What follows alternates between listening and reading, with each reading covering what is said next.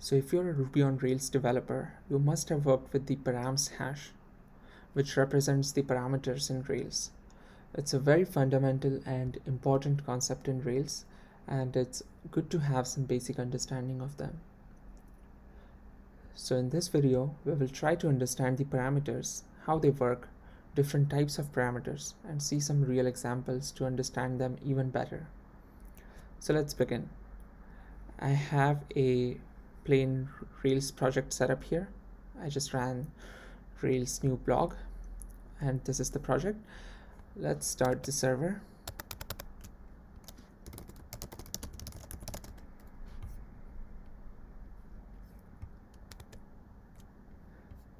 And if I reload the page, I have the basic Rails app running here. So what are parameters? So whenever you're building any dynamic web application, you'll always need to access the user submitted data on the backend, right? Maybe uh, the user wrote a comment or uploaded a photo uh, or posted a tweet or clicked a link that includes the ID of the post that they want to see. So how do you access this data on the backend? So that's where parameters uh, enter into the picture. So you, uh, all that data is wrapped up in a object or a hash and that's that object is available on the backend. So there are two types uh, in which you can send the data on the backend. So the first is query strings, other is form submissions. So query strings are whenever uh, you see URLs like uh, slash post question mark ID equals to or something like that. So that's the query string data. And form submissions, which we'll see later, uh, is the data that that uh, your browser sends in the request to the server. And uh, yeah so let's uh, start uh, coding. Uh, I'll start with uh, just defining some basic routes. Um, oh one more thing. Uh, so even though there are these two different ways to send data to the backend Rails doesn't differentiate on the backend how that data came. So even if you include send the data using query string or a form submission. It all that data is merged into a single hash and it's that's the params hash. So uh, it, so that all the data is accessible using a single params hash okay to keep things simple. Okay so let's uh, let's add a simple route. So let's say i want to route this url post sample to um, posts controller and the sample method okay? So this says whenever a request comes on the post sample url redirect that to posts controller sample method or the action. So let's create our posts controller class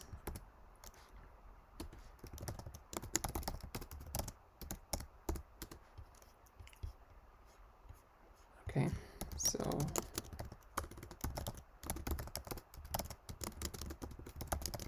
it extends from or inherits from the application controller i have the sample i have the simple sample action which uh, i'll just render the plain text. So this is a rails helper uh, sorry render plain uh, what this does is renders uh, some uh, text on the screen. So let's uh, just to test things let's go, try to go to this url and you see the output hello world. So it's not using any layout or fancy view it's just rendering this string plain text okay? So let's uh, change that to uh, render the params hash. So I'll use string interpolation to render the params hash as it is uh, and on the next line let's say I want to print the ID that that's in the params hash. So because it's a hash you access it like uh, just using the symbol ID and on the next line let's say I want to pass another parameter. Let's say I'll call it user. Uh, and it should be in the same way. Params user. Okay? So let's see what we're doing here. We are rendering and I need to use double quotes because it's string interpolation. Okay so i'm first i'm printing the params hash. On the next line i'm printing the id params id and on the next line i'm printing user which is params user.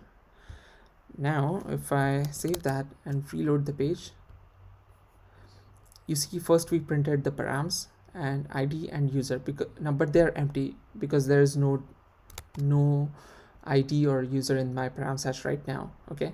It just had params which by default includes the controller and the action. So because i went to the post sample route which redirected uh, sorry which instructed rails to handle it using the posts controller sample action we have the controller posts and action sample okay? Now let's see how we get this data. So for that we'll first use the query strings so let's add a question mark and id equals 3 and you separate the parameters using and ampersand and name. Sorry i need the user. User equals ak so if i hit enter now you can see that data got passed into the params hash id3 and user ak and we displayed that data here id3 and user ak like this okay so that's the very simple way to access params from the query string parameters. Now the second way to uh, access for params sorry the second way to send uh, data to the backend is using form submission. So for that let's uh, create another route. We'll have two routes. So first get posts add and we'll use the posts add method for that. And so this just this will just display a form. So let's first do that. Um, let's add an add method. And we, we don't have any we don't need any data here because the view will take care of that. So in my posts directory under views let's add the view add add.html.erb because by default it will try to render this view add, add okay now I'll just uh, paste some form that I have here. It's a very simple form. What it does is action is upload. So when you submit this form it will try to make a post request to posts upload right? Like this posts upload. Because the current route is posts right? So it will just append whatever the action is. So we need a route to handle that.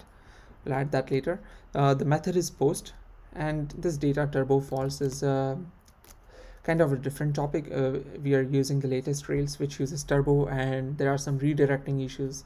That's why i'm just disabling data uh, uh, so disabling turbo using data turbo false attribute. Ignore that for now. So here i have just a few inputs uh, label name and uh, input type text. And this name parameter name attribute is important because that's how we'll access the data on the backend which we'll see later. So for now just uh, we have a label we have an input and the second form field is we have an email uh, and input type email. So that's it. And we have a button that submits the data to the backend okay? And now we need to handle this request. So let's add another route for uh, upload. So it it's gonna be a post request and it'll be on posts upload. And the posts let's say build. So build method will take care of that upload data uploaded data. So let's add that method def build okay? Now let's uh let's try to render that again. Um now in our form we have name username and name user email. So let's try to print that. So I need params I need name and the params instead of ID I will have whatever the name attribute is. So username.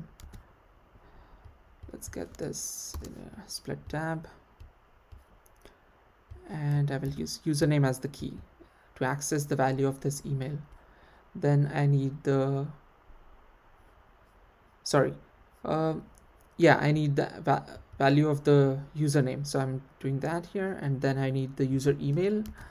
So i'll use params user email here. Okay.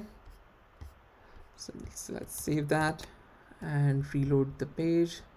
Sorry not reload. Let's go to the add page posts add and here's the form. Let's say enter name ak and email is ak at the rate gmail.com okay. And when we submit this data the request will hit the build uh, endpoint and will render the params params username and params user email. So let's see if that works. Oh right. Uh okay csrf token authenticity which we don't need to worry about that for now but you need to worry about that in production. So let's just disable that for now. Skip before action.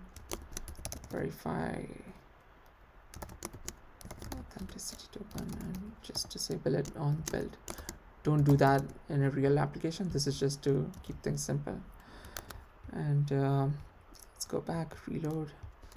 Okay get the rate hello.com submit okay there's our backend response. So we have let's see. We returned we are printing the first the params hash. Let's see what's the params hash. We have the username ak user email ak at the hello.com and like we saw earlier controller and action. And after that it prints the name and user which we got from the params hash with the username and the user email keys which we which used in the name attributes. So that's how you use the form submission data you in the params hash okay? Now what else? Um, you can also redirect from the controller right? So a very common question people have when you redirect from an action to another action is how do you um, how do you access the params data from this action to in another action. Because the way redirect works is we are not redirecting calling we are not when we redirect from say build action to sample action we're not doing a method call from here to here. So that's it's actually sending a response back to the browser some 300 response 302 and the browser makes another http get request to that new action with new params right? So how do we send params data from here to here? So rails provides a very simple way to do that with the redirect to helper. So instead of rendering here let's redirect to and i will use controller posts and action sample because I want to redirect to this action. And the way you include the params data from this action in here. Sorry pass params data from this action to this action is just using uh, passing a simple hash or the shorthand of that. So let's say I want to use the um, pass the username. I will just use the params hash and pass username. And let's say I want to pass the email. I'll do the same thing params email sorry user email because that's what we have here. So that's how we are passing params uh, data from here to this action. You can pass any data basically when redirecting and that data gets uh, Rails includes that data in the params hash okay? So we are printing params here. So let's see if we are able to pass that data here. So just to summarize, when we submit the form, we are now re redirecting to the post sample action and we are passing this data here. Let's try that. So go to posts add and let's enter the data and let's say open the we'll open the dev tools to see what's going on behind the scenes. So when I submit, it redirected to the sample action and you can see our email and our username was included in the params hash and you can see the way Rails handled that redirect. It basically included that form submission data in the query string parameters. because another important thing is you cannot redirect a post request it gets convert for safety reasons and security it uh, rails converts that post request to get and your data is available as query string parameters and you have access to that data in the params hash. So that's how you access the parameters when redirecting. And uh, that's pretty much it. Uh, there is another topic for uh, related to parameters called strong parameters. It's kind of advanced topic which uh, i guess we'll tackle that in the next video. But uh, i think that's enough for now. I hope that you have a pretty good understanding of how parameters work in rails by now um, to summarize uh, uh, what we learned so far there are two ways to pass data from the browser to the backend. First is query string like passing data in the url and the other is passing data from the form form submissions which uses the name attributes. And rails doesn't differentiate on the backend between these two types of data. It just groups them together in the params hash. Okay so all right so i hope that was useful and you learned something new. In the next video we'll probably see probably learn about strong parameters.